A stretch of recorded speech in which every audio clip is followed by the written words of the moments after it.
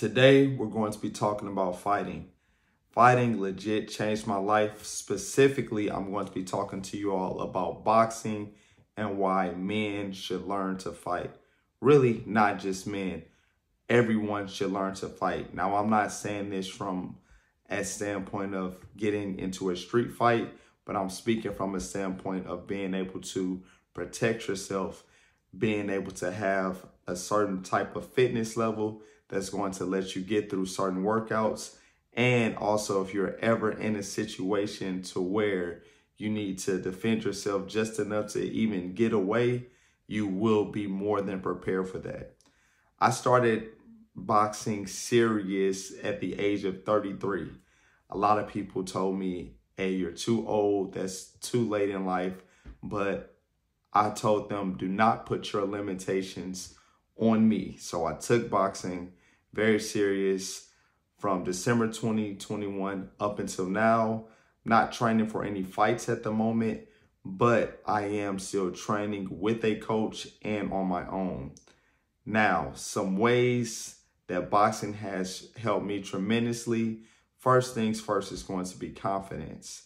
So I came from a background of doing bodybuilding, training strictly for aesthetics. Now going into the boxing gym and training for those first couple of months, it was a very humbling experience because I thought I was fit. But when you step inside that boxing gym, it is a completely different ball game and you realize that being fit has a completely different meaning. It's not just about looks, it's about being able to form, it's about being able to perform as well. Now, in addition to that confidence, it also helped me with other people that I would go around and they find out, hey, you box. So then they either want to train with you or, you know, it's a certain type of respect people have for others they know that are willing to do combat sports because it takes a lot of heart to do it. Like I always say, anybody that's willing to step in that ring, or even if it's stepping on a mat, stepping in an octagon, I have the ultimate respect for them because that takes a lot of courage and a lot of heart. Now, from a physical fitness standpoint, it is the hardest workout that I have ever done.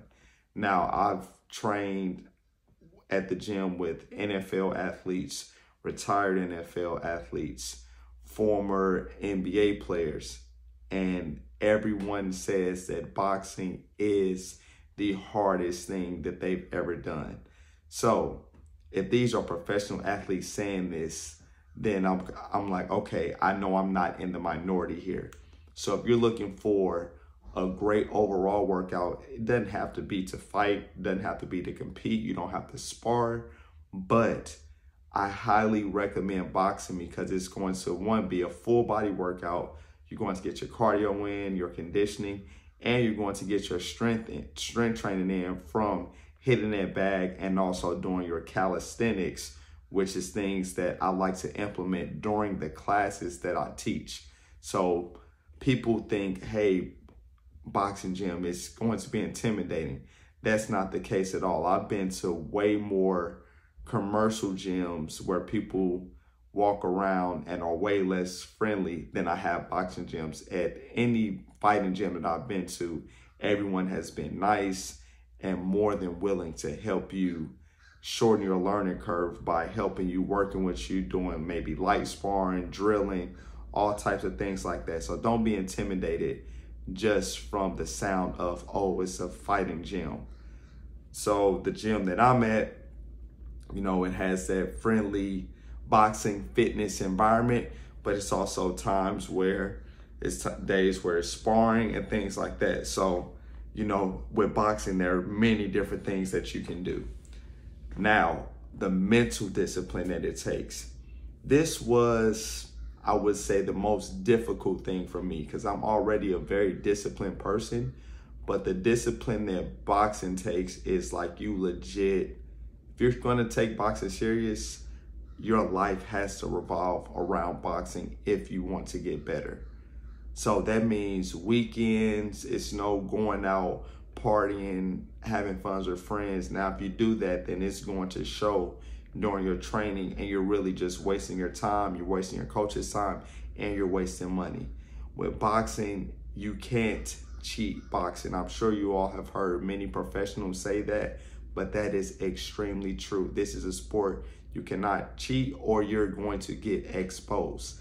Now, it forced me to be disciplined by waking up, getting my runs in, doing my training every day, except one day I was training every day except for Sunday.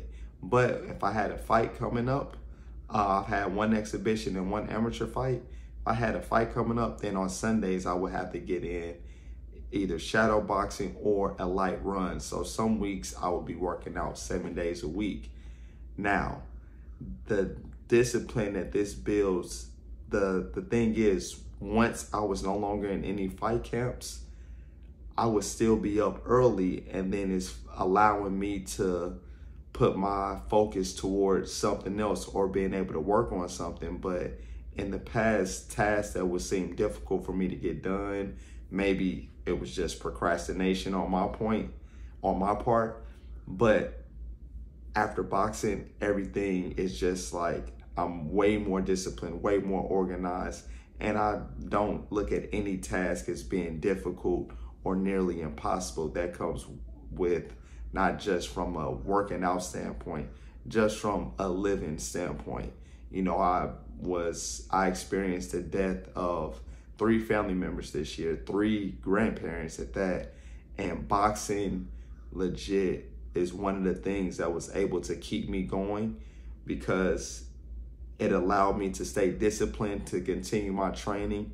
And although I was mourning the loss of those family members, still mourning the loss of them, boxing helped me to have the proper mindset to be able to deal with that and still be able to make it through fight camp and then make it to my fight where I was able to get a knockout in my USA boxing debut.